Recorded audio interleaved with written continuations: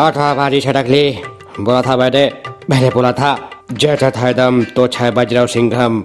मेरा नाम है कार्तिक लेकिन आप लोग मेरी आर्थिक स्थिति कमज़ोर क्यों करना चाहते हो? क्या दुश्मनी है मेरे से? ये सिंघम से क्लैश करने से पहले सोचता था क्योंकि ये दिवाली सिर्फ़ सिंघम की होने वाली है सिर्फ़ सिंघम की। लेकिन आप लोग एक बात भूल गए ये साल हॉरर फ़िल्मों का है। मुंजा और स्त्री टू का बॉक्स ऑफ़िस कलेक्शन देखो मान जाओ लेकिन सिंघम में कॉमेडी एक्शन ड्रामा सब है। और अक्षय की बिना भूल भुलैया टू कोई देखने नहीं जाएगा। सब लोग सिंघम देखेंगे। आप भूल भुलैया टू का बॉक्स ऑफ़िस कलेक्शन देखो। उसके बाद आप ही बोलोगे औरों में कहा दम था? हटा बारी छटकली आली रे आली आटा तो रिच पारी आली। मेरी फ्लॉप फ़िल्मों की बातें क्यों कर रहा है? मुझे मेरी फ्लॉप फ़िल्म याद क्यों दिला रहा है? सिंघम से पंगा ले रहा है तो।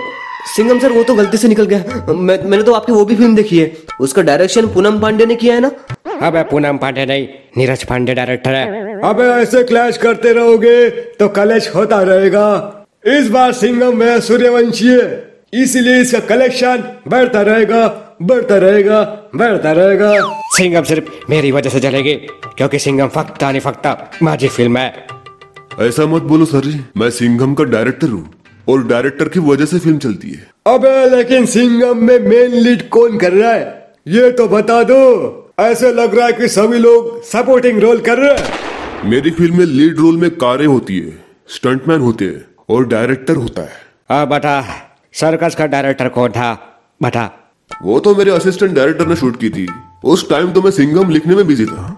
रामायण की स्टोरी फिर से लिखने में आपको बहुत मेहनत लगी होगी है ना? मेरी भूल भुलैया टू का रीमेक बनाने वालों सुधर जाओ। यहाँ पे कोई ओरिजिनल नहीं है। मेरी भूल भुलैया टू चाहे रीमेक थी लेकिन ओरिजिनल स्टोरी थी। अब वो फ़िल्म तबू की वजह से चली थी। तबू की आत्मा चाहे शरीर के बाहर थी लेकिन उसने उस फ़िल्म में जान डाल दी थी। समझ गया क्या? वरना वो फ़िल्म भी काम चलाओ कॉमेडी फ़िल्म बन के रह जाती। मैंने भी वो फ़िल्म चुपके से देख लिए। एक फ़िल्म बनाने में बहुत सारे लोग लगते हैं। पूरी टीम लगती है।